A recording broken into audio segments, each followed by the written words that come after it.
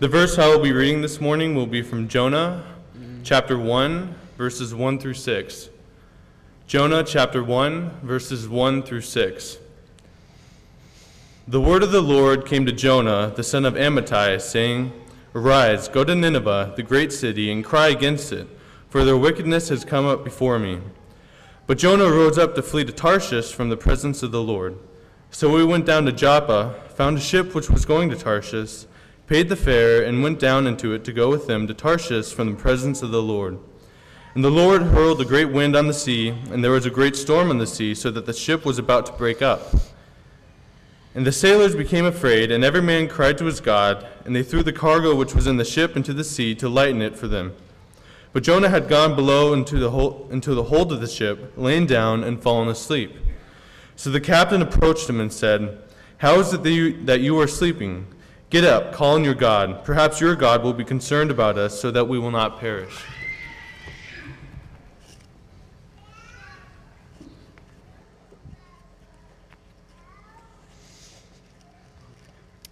Thank you, Tim.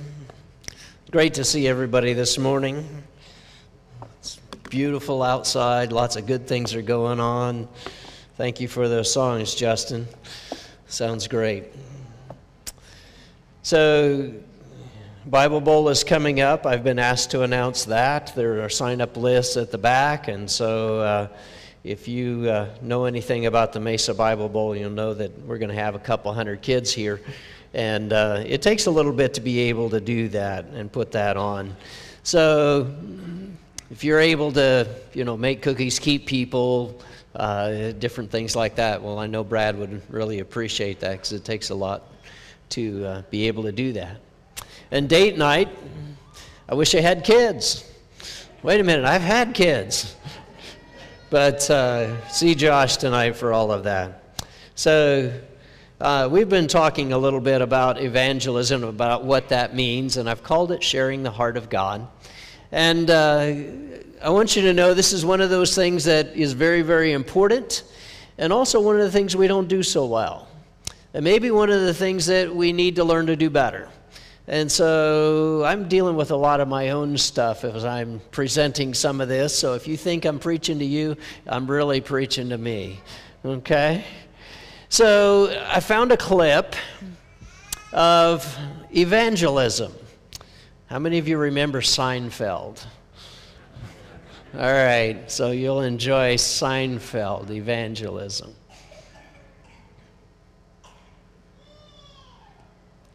We need some sound.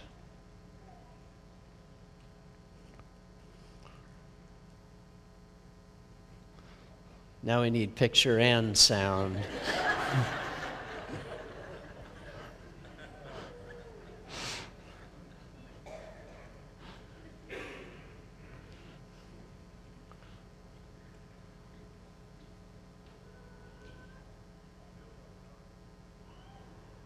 A little more sound.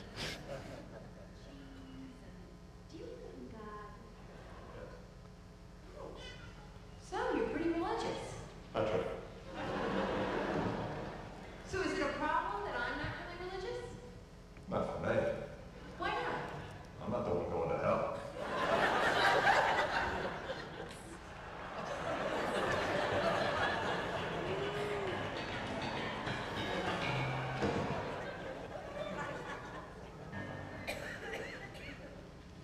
Well, I forgot to deliver your paper today. Why don't you, uh, just grab that one? What about the ones to Mr. Potato Guy? That's his. Come on, I get it. Well, if you want it, you get it. Sorry, I shall not steal.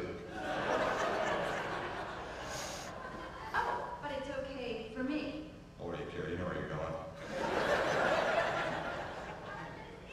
I can't live like this. No. Come on. All right, what did I do? David, I'm going to hell. The worst place in the world. The devils and those those caves and, and the ragged clothing. And the heat. My God, the heat. What do you think about all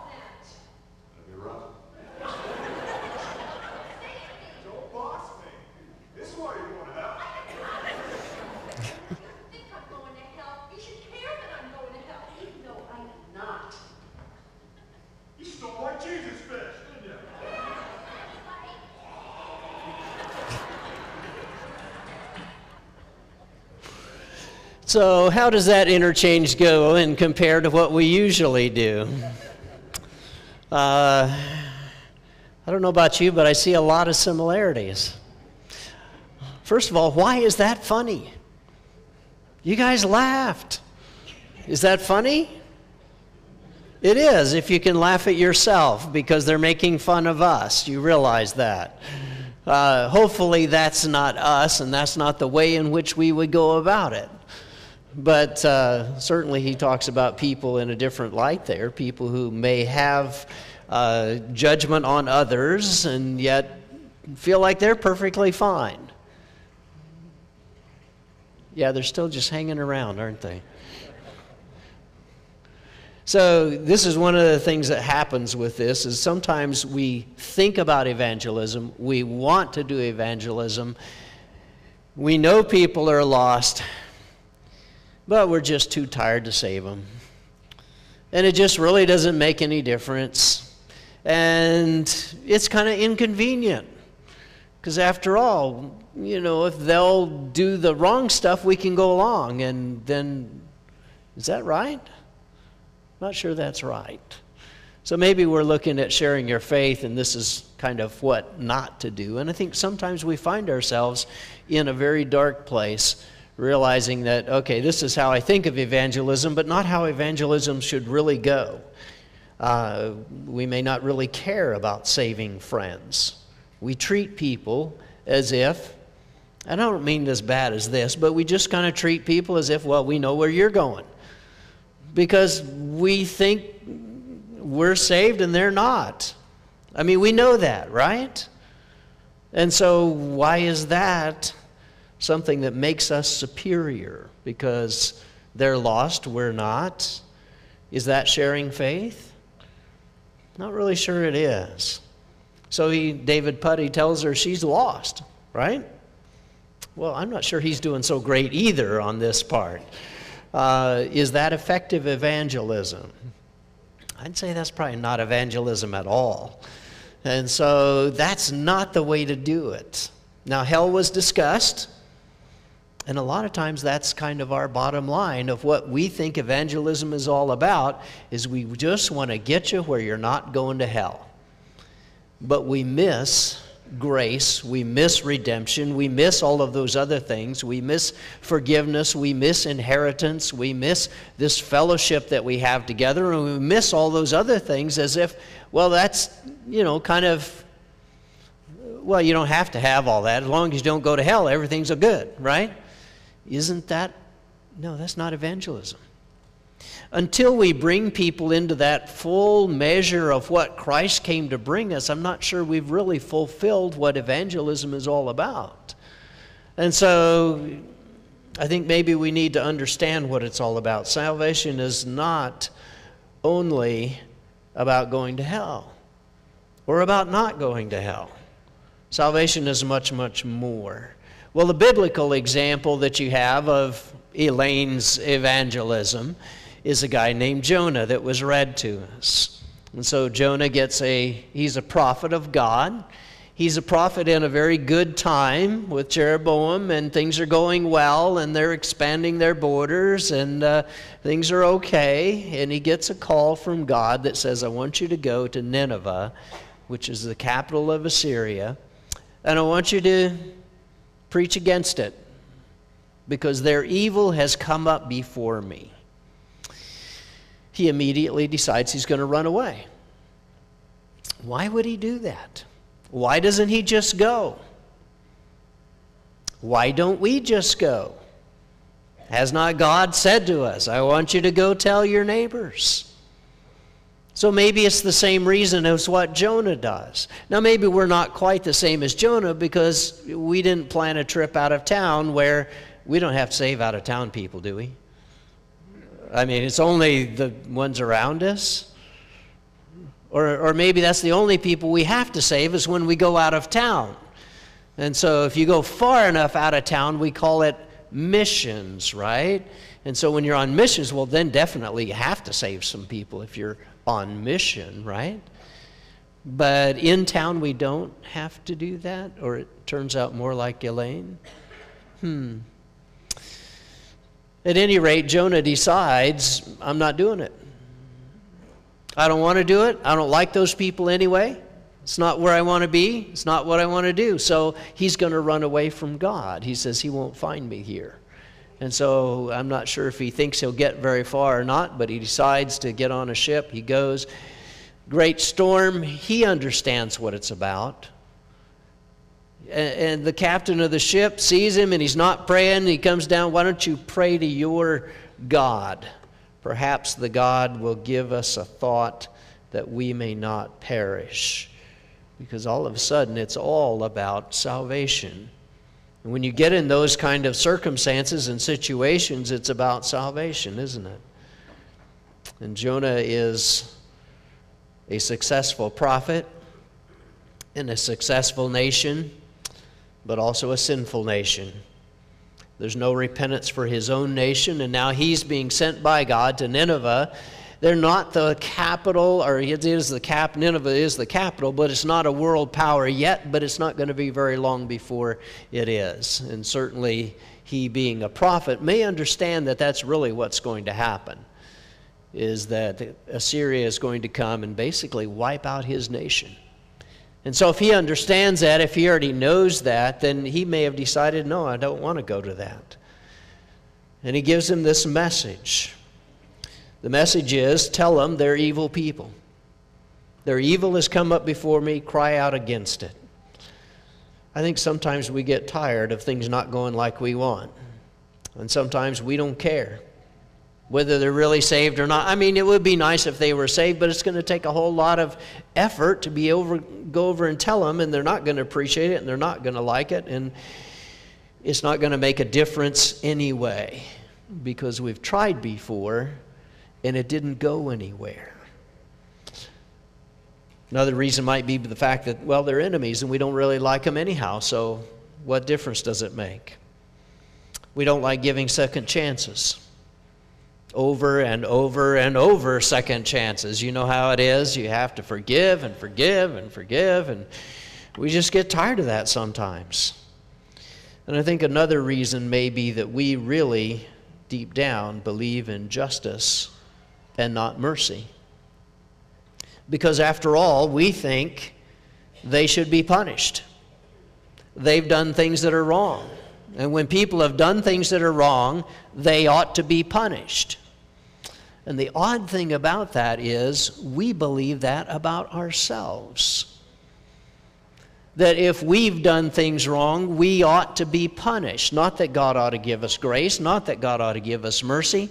And we will even go to the extent that when we see things going badly, we will begin to wonder, I wonder what I've done wrong, and now God is punishing me.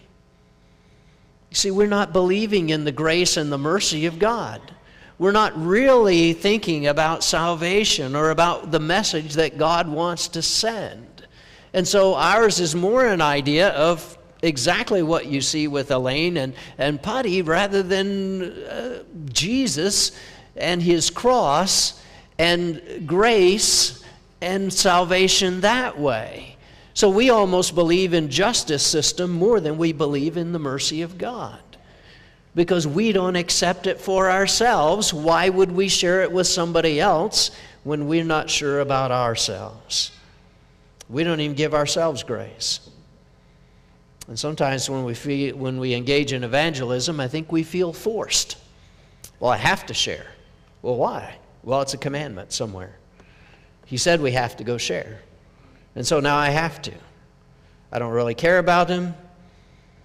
We show our own guilt because I'm not sure I'm really saved. We share our own doubt because I'm not really sure that I'm going, and we're covered in fish vomit. Probably not going to go real well.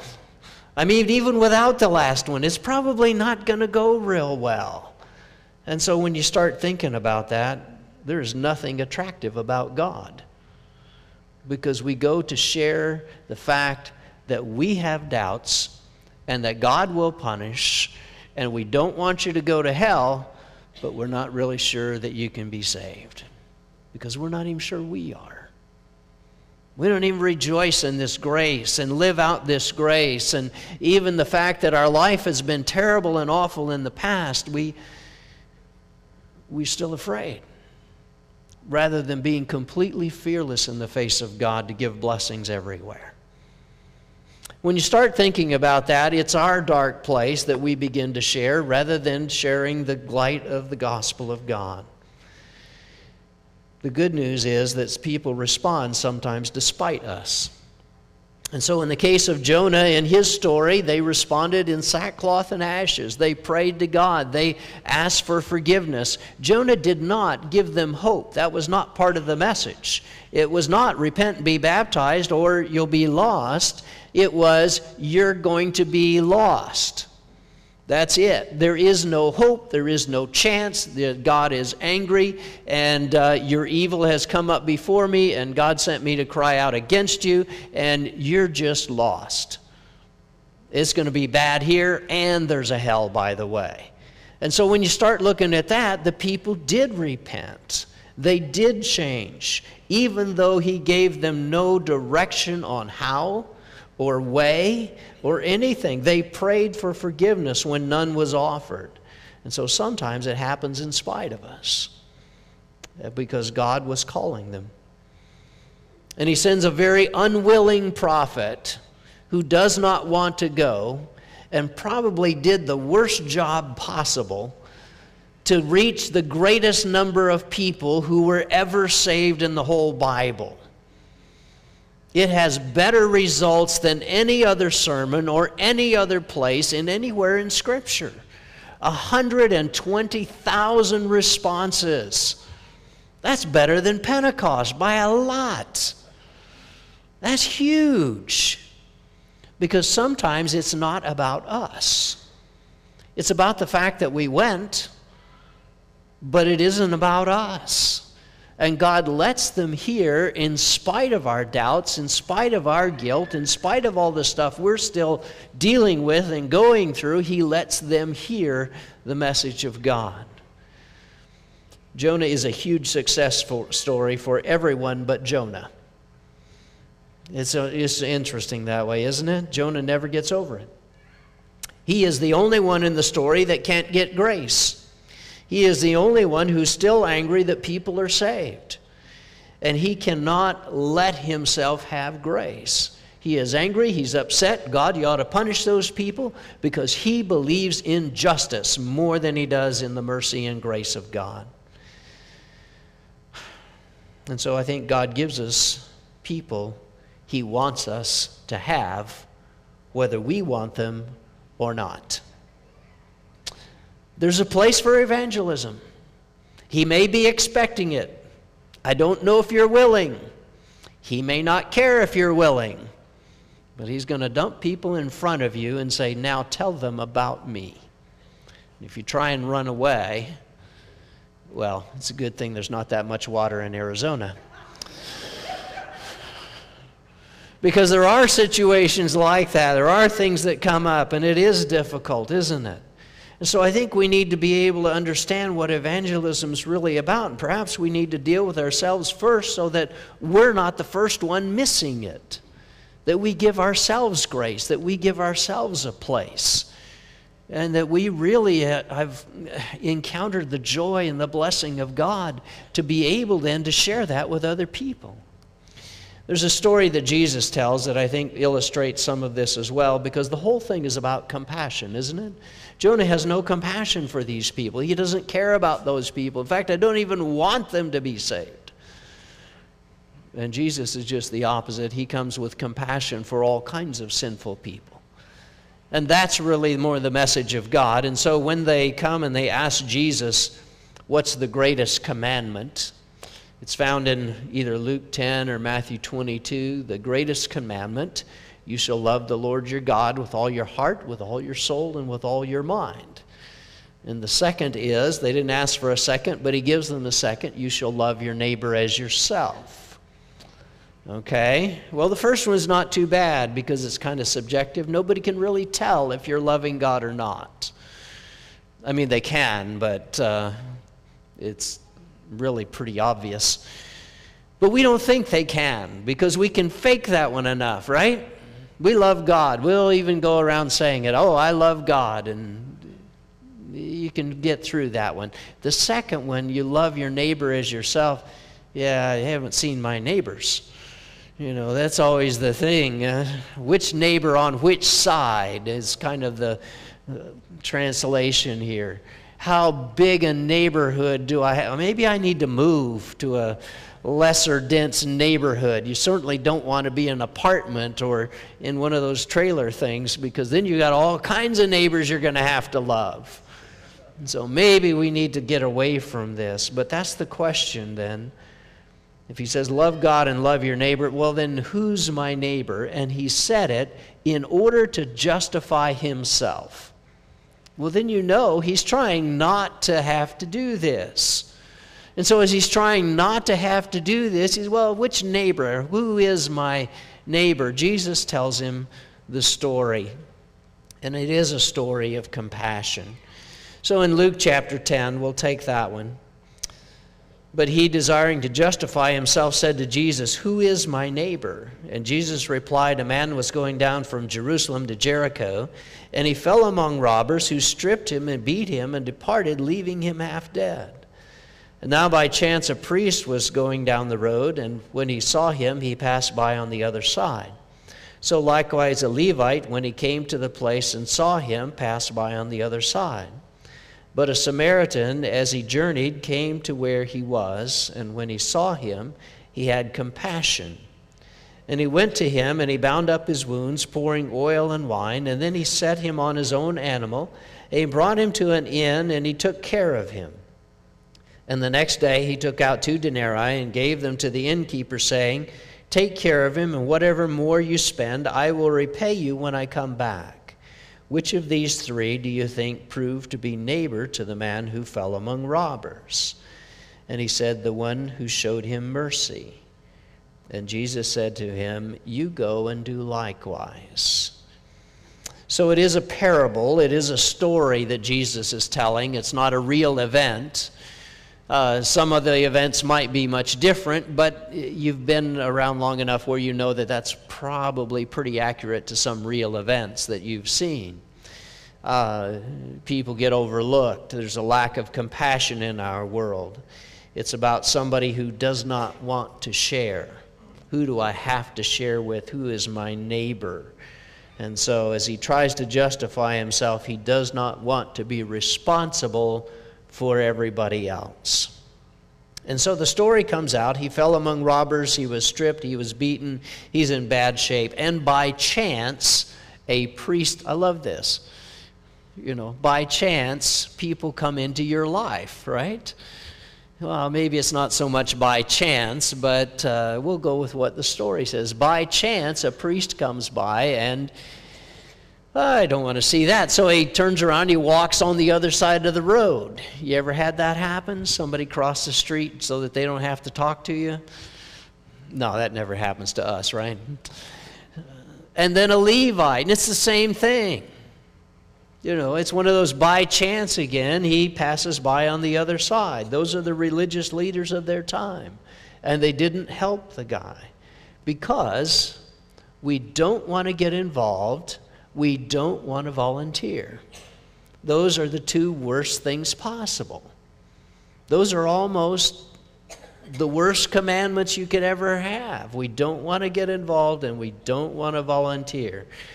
But there is a Samaritan, and he comes by and he has compassion. It says he saw him maybe saw what he's like, he saw what he's going through, and he had compassion on him. And so he binds up his wounds with oil and wine on them. He has bandages. He sets him on his own animal. He takes him to an inn. He takes two denarii. He gives them to the innkeeper and, and says, You know, if you need more, I will be back and just take care of this guy.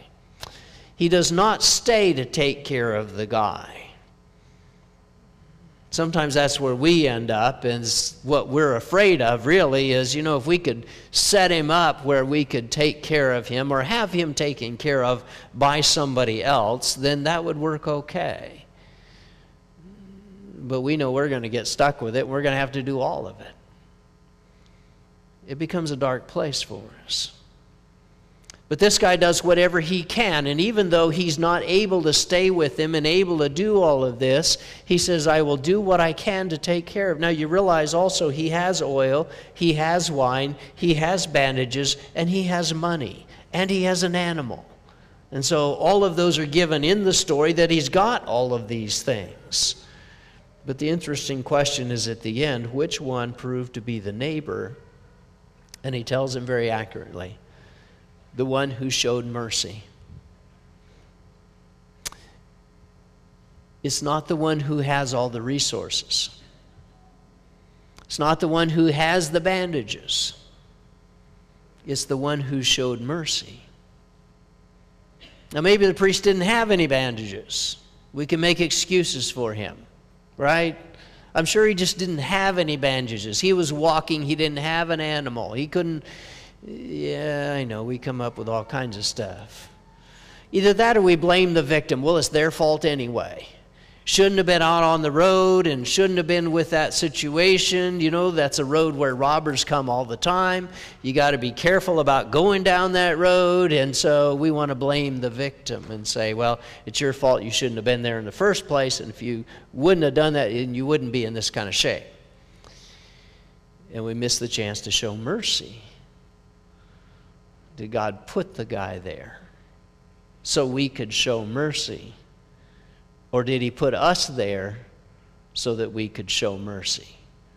Which one? Well, I'm not sure it matters as long as both people are able to get the mercy of God. Because that's really more what it's all about. It's always about the one who shows mercy. So, what's the difference in sharing and being responsible for people. Are we responsible for the mess people get themselves into? I don't think so. We are people of grace, and we have received mercy, and we do show mercy because we have received mercy. We've received mercy because we show mercy, not because we were baptized. It isn't the baptism, Baptism is a response to mercy that has been offered. But we show mercy because we've received mercy. There's also a parable about an unmerciful servant that Jesus tells. And in that one, one owes him a large sum of money, or he owes a large sum of money to the king, and the king just forgives him because he can't repay. And then another servant owes him a small amount, and he goes and he begins to choke him and have him thrown in prison until he can pay what he owes. Yeah, the story is about a guy who got mercy from God and then did not want to give mercy to other people. No. He says that guy goes to hell. That guy is cast out where there's weeping and gnashing of teeth. If you want to know who goes to hell, it's that kind of guy. The guy who's received mercy and then says, No, I'm not giving you any of mine. That's a pretty dangerous thing, isn't it? So, what about the unmerciful? You see, it's one of those things that's just part of the Gospels, isn't it? Jesus gives this as one of the Beatitudes Blessed are the merciful, for they shall receive mercy. He does not say, Blessed are those who are hurt and injured, for they shall receive mercy. He says it's those who are merciful who receive mercy. And so he's expecting this to be something that is reciprocal. It's not just a, well, I'll give you mercy and you don't have to do anything. No, blessed are those who are merciful because they receive mercy. So, what about the unmerciful? It's tough, isn't it? Are we responsible for others' behavior? Aren't they responsible for themselves? And I think clearly God teaches that. Each person is responsible for themselves. Each person is responsible for their own mistakes. Each person is responsible for the place where they find themselves. And God will punish every single person who does wrong. And each person is responsible for the things and the mess and the problems and the sin that they get into. But we are responsible for the mercy we've received. And we want to say, well, it's their fault because they deserve it. It's they're, they're the ones that did it. That's missing the point completely. It just means we're really immature Christians because God gave us that mercy in order for us to share it, in order for us to give it. And whether they're uh, at fault for their condition or their place or wherever they are, he says that's one of the things we need to do. We need to be able to give mercy. Now, how that mercy comes out is a whole other question. Jonah does not heal anybody, Jonah does not give them any kind of money. Jonah gives them nothing but, you all know you're all lost and going to hell. And that's it. Maybe there's more we could give. Maybe there's something else that could be done. But we receive mercy by the mercy we give. And I think that's what he's really trying to get across here. And that is the heart of evangelism. It's when you begin to show that. Oddly enough, that's Jesus' example of evangelism. And sometimes we just don't expect it. We believe more in justice, and we don't give it because we wouldn't expect it for us. We're just going to hope nothing goes wrong. Kind of like that insurance policy that we didn't get, and we just hope hope nothing goes bad, hope nothing breaks, right? Yeah, we're not that good. So, how do we do this? Well, when you get your bulletin, not now, occasionally there are things to volunteer for. It's a way to show mercy. It's a way to be able to do that. Pick one and do it. You don't have to do them all because then you're going to get burned out and never do any of them. You give mercy in order to receive a blessing and realize the blessing you'll receive and let yourself have the mercy that you can receive. Because God does give mercy, hoping for relationship. So I think it's important for us to realize how all this works. Which person are you in the picture? Well, I want to be the one in the cart, right? Yeah, I'm afraid I'm the one behind pushing. who gets the benefit? Well, it's only about the person in the cart, after all. Nothing happens for the rest of us until you've been there and done it and you realize you feel really good about helping that person get where they need to get to. And so I think that's what mercy is all about. And all of evangelism really comes down to this one thing find somebody to show mercy to. Start there. Maybe it's something you say. And maybe you can get where you can get into a Bible study. Don't start with hell, all right? That's usually our first thing. Every evangelism study I see talks, well, do you realize you're a sinner? Let me tell you just how bad and create the lostness in you so that then you will want to come for what I've got.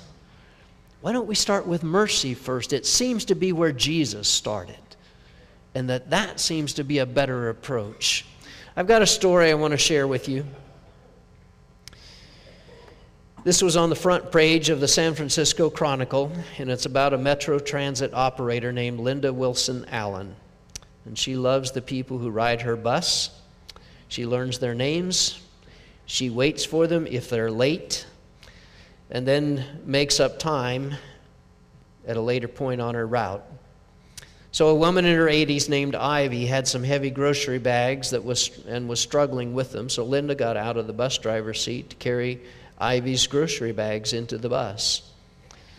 And now Ivy lets other buses pass to, so that she can ride on Linda's bus. Linda saw a woman named Tanya in a bus shelter. And she could tell Tanya was new to the area and that she was lost.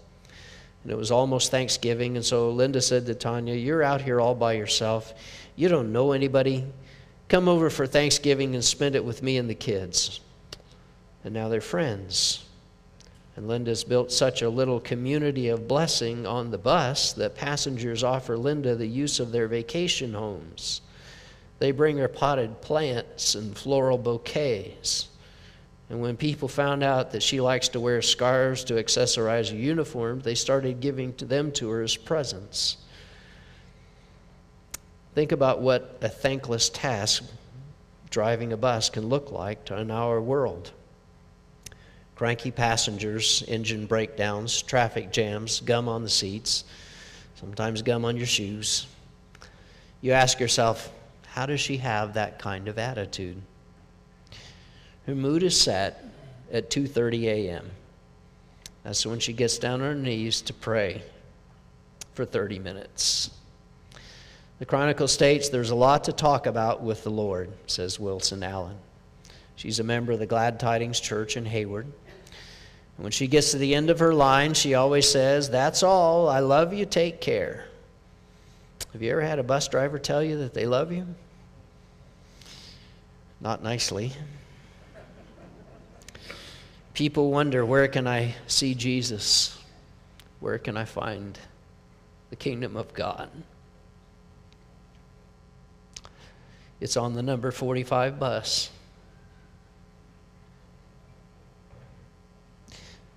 So I've got a challenge for you.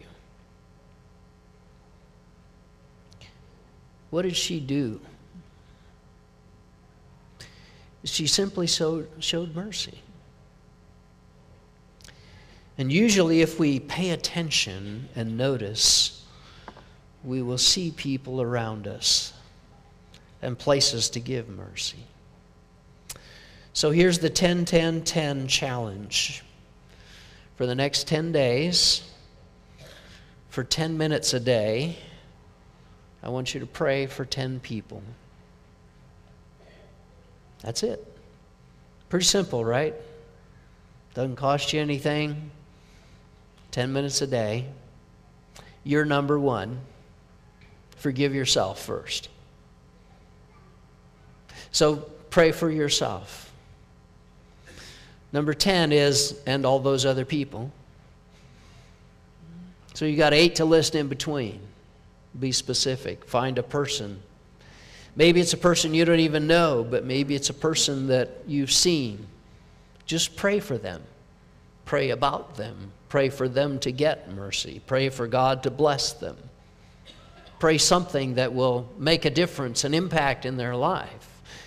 And be ready for the time when God introduces you. Because it's amazing how many times that will come along. 10, min- 10 days, 10 minutes a day for 10 people. Has God ever shown you mercy? Maybe that's where we need to start today. Maybe it's time that He did. Has He shown you the cross and how Jesus died for you and that you can repent and be forgiven of every single thing you've ever done? And the question is do you believe that now? There's not a single sin left. If there is, we need to fix it. So come talk to me. We'll pray about this. Maybe it's time he did. Let's stand and sing together.